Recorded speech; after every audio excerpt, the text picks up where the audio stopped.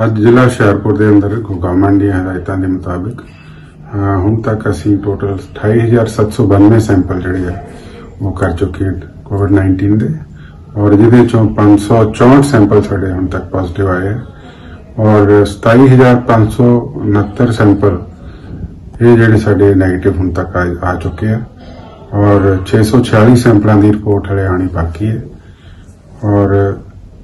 ਜਿੰਨੇ ਹੁਣ ਅੱਜ ਤੱਕ ਸਾਡੇ ਜਿਹੜੇ ਐਕਟਿਵ ਕੇसेस ਨੇ, ਉਹ ਸਾਡੇ 93 ਕੇਸ ਨੇ ਜਿਹੜੇ, ਉਹ ਸਾਡੇ ਹੁਣ ਤੱਕ ਹੁਣ ਐਕਟਿਵ ਨੇ ਇਸ ਵੇਲੇ। ਔਰ ਅੱਜ ਦੀ ਰਿਪੋਰਟ ਦੇ ਵਿੱਚ 13 ਕੇਸ ਜਿਹੜੇ ਸਾਡੇ ਪੋਜ਼ਿਟਿਵ ਆਏ ਆ, ਜਿਹੜੇ ਜਿਨ੍ਹਾਂ ਚੋਂ 6 ਗੜਸ਼ੰਕਰ ਦੇ ਹੈ ਔਰ ਬਾਕੀ ਜਿਹੜੇ ਹੈਗੇ ਆ ਲੋਕਲ ਜਿਹੜੇ ਆਸ-ਪਾਸ ਦੇ ਹੈਗੇ ਔਰ ਜੋ ਅਸੀਂ ਲੋਕਾਂ ਨੂੰ ਅਪੀਲ ਕਰਦੇ ਹਾਂ ਕਿ ਆਪਣਾ ਜਦੋਂ ਵੀ ਘਰੋਂ ਬਾਹਰ ਨਿਕਲਣਾ ਤਾਂ ਮਾਸਕ ਲੈ ਕੇ ਬਾਹਰ ਨਿਕਲੋ ਤਾਂ ਕਿ ਇਹਦੀ ਲੋਕ ਜਿਹੜੀ ਹੈ ਸਪਰੈਡ ਜਿਹੜੀ ਹੈਗੀ ਆ, ਉਹ ਰੋਕੀ ਜਾ ਸਕੇ। Thank you